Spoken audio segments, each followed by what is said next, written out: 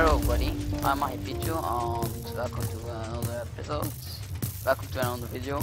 In this video I will show you how you can make this noisy but pretty nice water fountain with bubbles and splashing water. So first off let's stop this thing.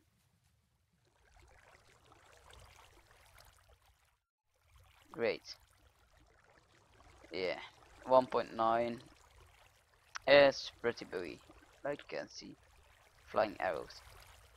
Totally normal. Anyway, this is just a they were there but uh glitch uh graphical glitch.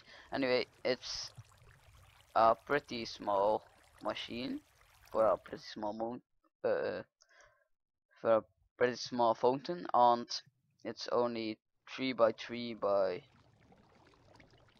3 yes by 3 or 3 by 4 3 by 4 if you re remove if you add this part to stop it. Like so. Then you have 3 1 2 3 3 by 3 by 3 and a block. And the fountain itself is a little bit bigger but it's not hard to make. And oh yeah so I will first stop this thing again because it sounds it's pretty stupid to it's stupid that it makes so much sounds because otherwise it will be a pretty nice thing in your in your base but let's make this thing. It's a pretty easy thing to make. You only just take a piston some building blocks a bucket of water some two redstone two repeaters a lever a torch an arrow and a bow. So first off you will make the fountain like so. Place the sticky piston there with a block on top and per up and set the water in as last but it needs to be one higher. Anyway then you dig out dig it out like so. Place a block there and around and a block there. You can dig out one deeper like so. That one needs to be a normal block. Then so on so. Here you need your torch a redstone here then a repeater facing into that block another repeater facing into there and a redstone on top. And this is the machine. You can stop it by like so but I suggest placing a block here and placing lever there so it stops. Then you can fill up the the uh, bottom place a block there put the water bucket in and like you can see it doesn't get removed because it's one above so no just shoot an arrow in it. And you have your splashy things. Like you can see and the more arrows the more splashy.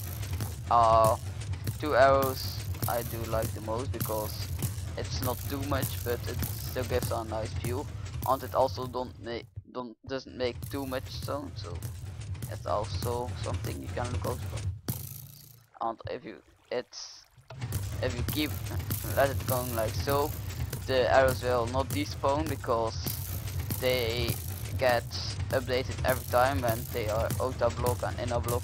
So the one minute respawn despawn timer always get reset. So you only need to put in again if you stop them anyway this is the thing I have for you today. I know it's not much but, but we are busy on something way bigger. That's 1.9 gave, gave us and I also made a oh my god that's that's creepy. Shifting and I'm now pressing up arrow so that's really creepy sliding along. Boy. That's really creepy. Pew. Okay. Anyway. Oh, you still move your feet. Or not? Yes, a little bit. But almost not. It's just really slowed down this on. Okay, anyway. Thank you for watching. We are working on something way bigger beyond Super Piccolo Boy and I also made a new module for Game Mode 4, so check out the wiki. I will put the link in the description. And yeah, I will see you all later. Bye bye.